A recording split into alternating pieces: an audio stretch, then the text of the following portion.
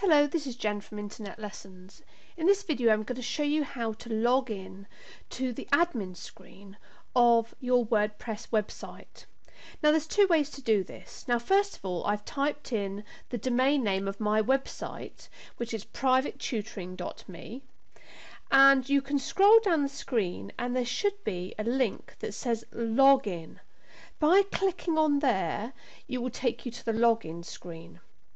Alternatively, you type in your domain name followed by a forward slash and WP, which stands for WordPress, hyphen admin, and then press enter. This will now bring you to the WordPress login screen.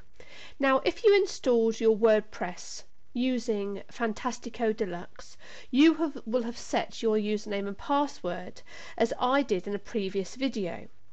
So I would type in my username, which was admin, and my password 12345. Um, and I will click remember me, and then I will click login. Now, if you um, installed WordPress using the instant install, the e username and password will have been emailed to you. So you need to go and check the email address that you used when you were installing WordPress and you'll find your username and password there. You then enter them as I have done here and then you click login. If your installation has been successful, you'll be brought to the admin screen of WordPress which looks like this.